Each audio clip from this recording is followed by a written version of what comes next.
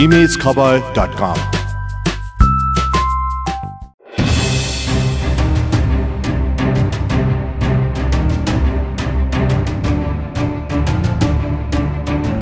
नेकपा संसदीय दलका उपनेता सुभाष नेङमाङ प्रधानमन्त्री केपी शर्मा ओलीको दूत बनेर देउवालाई भेट्न गएको खुलासा भएको हो प्रधानमन्त्री ओलीले सरकारमा साझेदारीको प्रस्ताव गर्नुभएको सन्देश नेङमाङले देउवालाई दिनुभएको थियो काङ्ग्रेस केन्द्रीय सदस्य डाक्टर मिनेन्द्र रिजाल पनि सो भेटघाटमा सहभागी रहेको थाहा भएको छ। काङ्ग्रेस कार्य समितिको बैठकमा वरिष्ठ नेता रामचन्द्र पौडेलले देउवा नेङमाङ बीचको भेटघाट बारे प्रश्न उठाएपछि सभापति देउवाले कुराकानी भएको जानकारी दिँदै त्यस विषयमा डाक्टर रिजाल बढी जानकार रहेको बताउनु भएको थियो। यसअघि गएको सत्र गते बुधबार पनि ओली र देउवा बीच बालुवाटारमै लामै छलफल भएको थियो र त्यसको भोलिपल्टै प्रधानमन्त्री ओलीले संसदको अधिवेशन अन्त्य गरेको पनि बुझिएको छ। यी गतिविधिहरूले संसद अधिवेशन अन्त्य गर्ने सरकारको निर्णयमा काङ्ग्रेस सभापति देउवाको पनि सहमति त थिएन भन्ने प्रश्न पनि उठेको छ। बैठकमा सभापति देउवालले प्रधानमन्त्री ओलीले फोन गरेर आफू घेराबन्दी परेकाले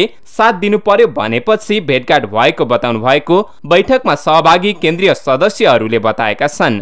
बैठककै बीच पत्रकारहरूसँग कुराकानी गर्दै पार्टी प्रवक्ता विश्वप्रकाश शर्माले पनि ओली देउवा भेटघाट भएको स्वीकार गर्नुभयो।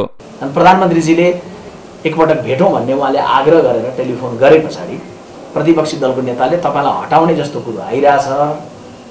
हाम्रो पनि तपाईँसँग एक ढङ्गको असहमति छ।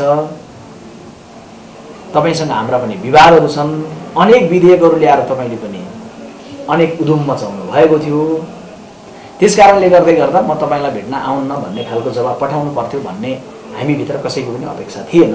बैठकमा देउवालले पार्टीका दोस्रो पुस्ताका नेताहरू गगन थापा विश्वप्रकाश शर्मा मिनेन्द्र रिजाल लगायतसँग छुट्टै छलफल गर्नुभएको थियो। केन्द्रीय सदस्यहरू डाक्टर डिला सङ्ग्रौला र नवीन्द्र राज जोशीले भने सभापति देउवालले आफ्नो भेट संवैधानिक आयोगको विषयमा छलफल गर्नका लागि भएको बैठकमा जानकारी गराउनु भएको बताउनु भएको छ। सभापतिसँग अहिलेका सामान्य प्रधानमन्त्रीज्यूले यो संवैधानिक निकायको बारेमा छलफल र आज बिहान सुभाषजीले पनि त्यही कुराको फलोअपको कुराहरू लिएर अरू केही कुराहरू राख्नुभयो यो भन्ने कुराहरू अहिले चाहिँ त्यहाँ त्यही आएका छ भेटघाट बालुवाटारमा चाहिँ भएकै हो तर भेटघाट चाहिँ के छ भने संवैधानिक परिषदको जुन संवैधानिक निकायमा अध्यक्षहरूको पद खाली छ होइन? त्यसलाई कसरी लैजाने भनेर छलफल भएको रहेछ। त्यही क्रममा आफ्नो अभिव्यक्ति दिएर पार्टी सभापति फर्किनु भएको रहेछ। आज उठाउनु भयो सभापतिले जवाब दिइसक्नुभयो क्लियर भइसक्यो। मिनेन्द्र रिजाल पनि हुनुहुँदैछ भन्नु नेकपाभित्र आन्तरिक कलह चुलिएर प्रधानमन्त्री ओलीको कुर्सी हलिरहेको बेला ओली देउवाको भेट र सत्ता साझेदारीको छलफलले राजनीतिक खिचडी नयाँ ढङ्गले पाक्दै गरेको सङ्केत गरेको छ।